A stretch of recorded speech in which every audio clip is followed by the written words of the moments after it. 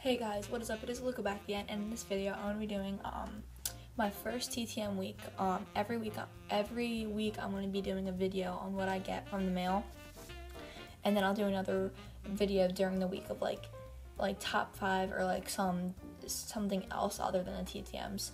So I hope you enjoy this video. I'm gonna be doing I'm gonna be doing this every week now.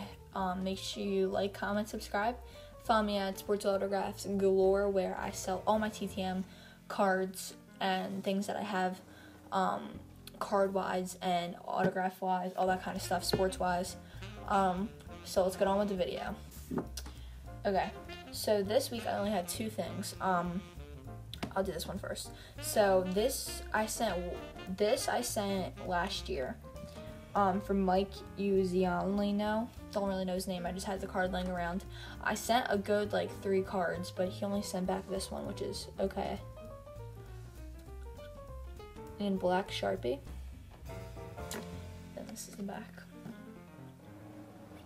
So yeah, pretty nice card. I like the way he signed it like on the bottom. I like that. So yeah, this is a really good card. Um, and yeah, this is definitely going in my collection and on my Instagram if you want to buy it. Okay, my second TTM I sent during the fall, which I didn't know this. I knew this was not gonna come back till after the season. So I sent this to Jordan Matthews. I didn't really know about TTMing that much, so I just sent the whole paper instead of just cutting out the picture.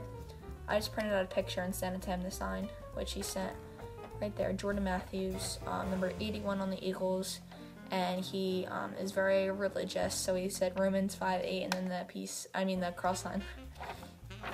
So yeah, um, that's Jordan Matthews. Great guy, and um, really happy to see. Alright, that is all I have for you guys today.